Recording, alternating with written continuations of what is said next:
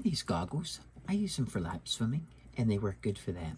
Um, some things I really like about it is that they're they have the tint when you see it, but actually when you get directly and when you're in the water, it looks very clear. I like that. I don't like the dark ones for, for lap swimming. I like to see what's around me.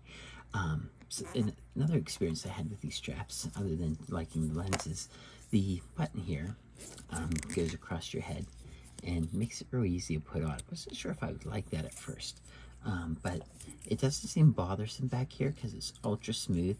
And really all what I feel is more the strap than, than this piece here. And it doesn't interfere with them coming off, which I like. The nose piece is different than what I was expecting a nose piece to be. This is all solid plastic. Um, I usually the brand I normally swim with is more like a rubberized. Um, this doesn't touch my nose, so it's out far enough so that doesn't bother me. Um, and I wouldn't say my nose is recessed any, so um, I think this would be good for most noses, um, probably like 99% of noses without touching, which is really cool.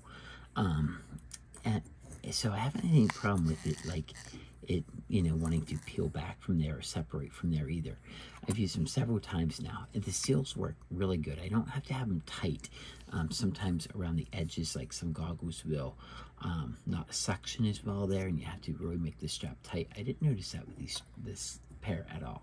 So overall, I'm very pleased with it. Excellent for lap swimming, um, or just probably out in the sun, swimming in the pool, things like that. If you're underwater a lot, um, these will certainly work without um, steaming up or, or filling up. So, and like I said, you know, kind of new thing I tried there, and I found it very easy to adjust the strap too because they're um, they have all the you know pieces here that don't slip, which is really cool when you're making adjustments. So, yeah, I, th I think overall very good, and I'm very pleased with them.